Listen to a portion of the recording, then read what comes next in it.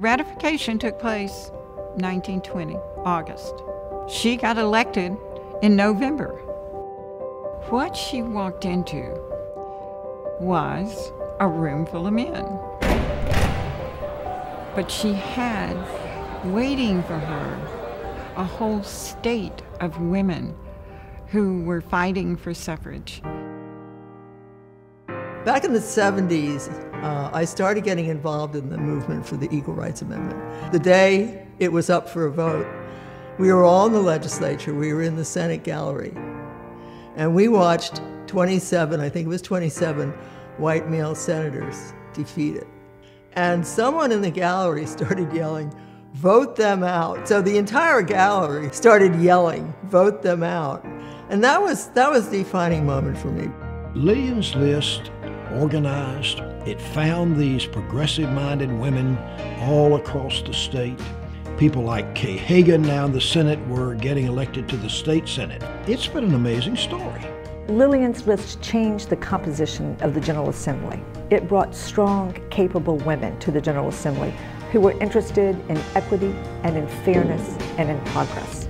They were able to make something huge out of nothing. We've gone from an idea to one of the most important political organizations in North Carolina. And I believe that Lillian's List is well positioned at this point to deal with the enormous setbacks we've had. 2010 was devastating for women's representation in the General Assembly, and it was devastating because it was a redistricting year. 40% of the Democratic women in the General Assembly were either double bunked or drawn into a district that they couldn't win in. And no other group of people was as drastically affected as Democratic women in the General Assembly. Women make up 52% of the population in North Carolina. We're 54% of the voters, yet we make up only 21% of the people serving in the General Assembly. Those statistics have got to change. Women are rising up because they realize what's at stake. Somebody has to be there that will stand up for women and stand up for children and families. If anybody's going to get this done, women are going to get this done. My goal is when I'm 100 years old that we don't need Lillian's List anymore. Well, if I've learned anything about politics, it's to take a long-term view. And in the long run, as people feel that they have the um, opportunity, the time, and the money to run, more women will run. One of the things that Lillian's List does better than anybody else in the state of North Carolina is to recruit progressive, pro-choice women to run for office. Well, you need a pipeline to get people ready to run. And that question, am I ready? Heck yes, most women out there are ready to go. We just ask that question way too often. All the studies show that women are more likely to think, why me? And men are likely to think, why not me? Um, so that's the challenge. Well, the idea of running for office for a lot of people is very scary. I mean, it's our job to go out and find women to run, but you, you can't just ask somebody to run and then not give them the tools to be successful. Lillian's List creates uh, a sisterhood of support. We have training, we have access to the best consultants in the country. I mean, these trainings cover anything from finance to, you know, how to fundraise to your messaging. Nuts and bolts training, uh, as well as issues training, hiring the right staff.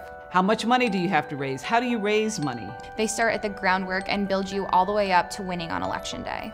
And that's what Lillian's List does. I mean, we kind of take the fear factor away. It's all about the list.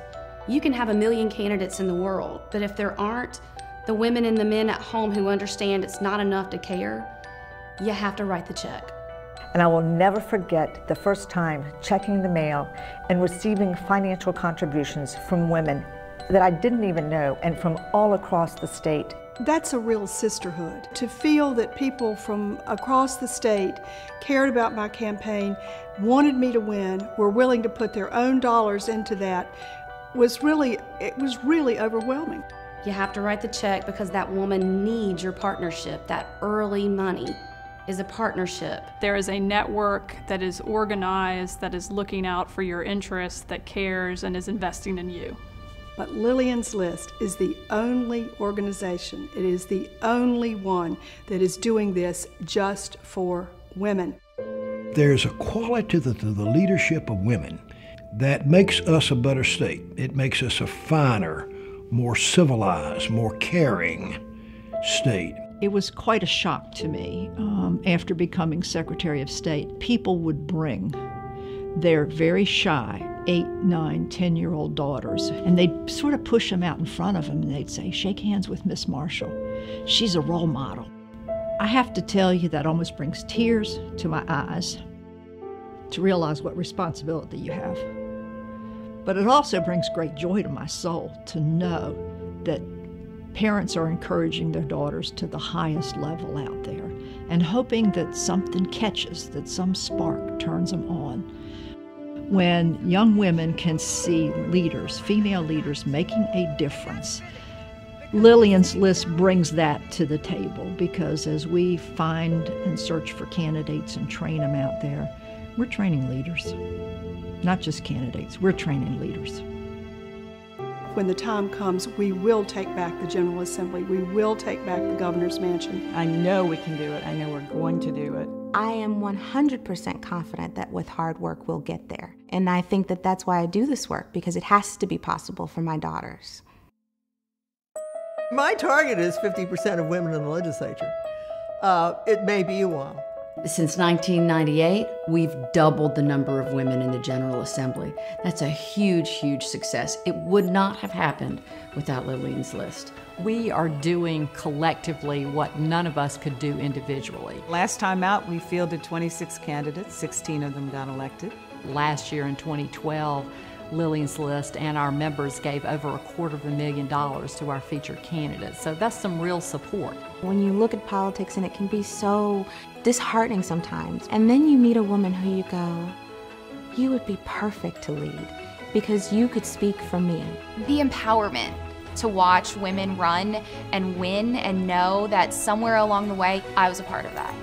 There are going to be people who feel inspired to serve their country through public service we're going to find them, we're going to ask them to run, and they're going to get there, but they're going to get there because we're here to support them. We win because the formula is sharp, it's narrow, it's precise. We've never moved off message. We're focused, we're knowledgeable, and we achieve results. That's Lillian's list.